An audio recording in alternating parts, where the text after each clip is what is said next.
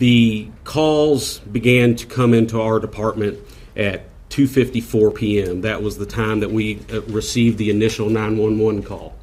At 2:56, let me at 2:54 simultaneously while those calls were coming in, that's when our first officers were dispatched. They were being dispatched simultaneously while the 911 calls were coming into our radio room. At 2:56, 2 minutes later, our first officers began to arrive on scene. And at 2:58, we had the suspect in custody.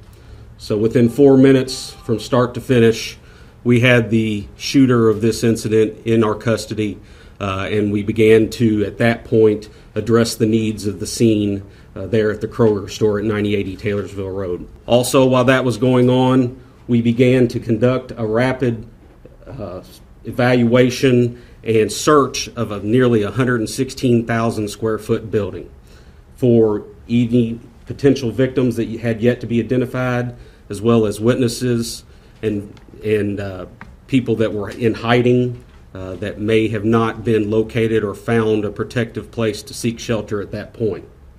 Investigators continued to evaluate and examine all evidence that was collected and identified at the scene.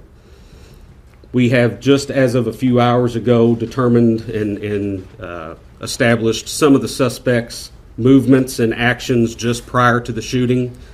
The, we received a tip that the suspect was seen outside of a local church where uh, he appeared to, on video, have been attempting to gain access into the church.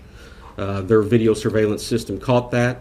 Um, he was unsuccessful in gaining access to the church.